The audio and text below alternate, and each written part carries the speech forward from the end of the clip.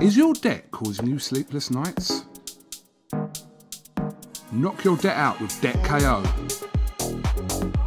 And your debt won't be the only thing keeping you up at night. Debt KO, free, impartial advice on all your debt.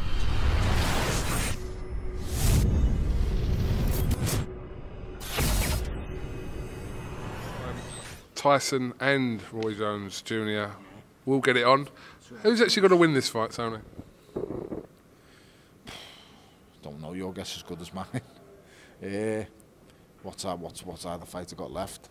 Yeah, if Tyson lands, mate, it's over.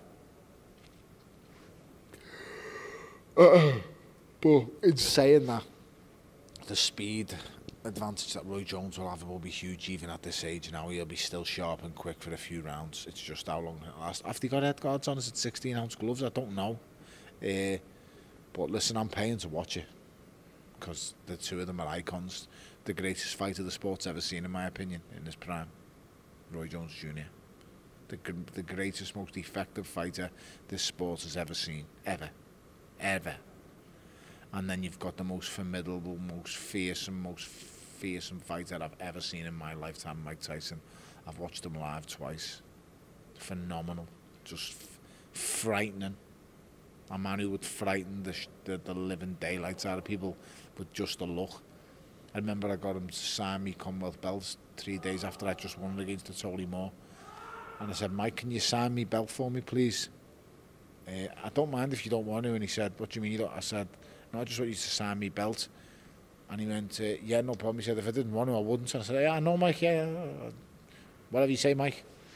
Uh, I just idolised Mike Tyson. I, I idolized him. I always have done an amazing fighter. And you know what? A really nice man. Uh, very, very misunderstood from media. I've read every book. I've watched every documentary. I know Mike Tyson's career like the back of my hand. You know, from the very first time he gets in the ring against Hector Mercedes, you know, all the way till the very end and the sad times that we've seen him finish on.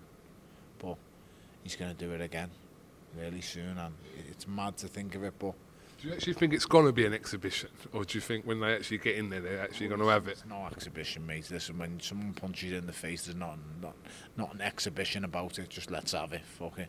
I've done it again. I've swore. Sorry. Uh, they're going for it. So when Roy Jones pops one of them quick ass jabs, and pop, pop, and you're just like boom, boom, and then say, well, okay, we're here. Let's go. Just imagine Tyson a right hand misses you, mate, the wind could put take it over. It's just he'll never lose that right hand over the top that he's got. The most ruthless right hand left hook finish I've ever seen. Just just absolutely ruthless, brutal. Is your debt causing you sleepless nights? Knock your debt out with Debt KO. And your debt won't be the only thing keeping you up at night. Debt KO, free, impartial advice on all your debt.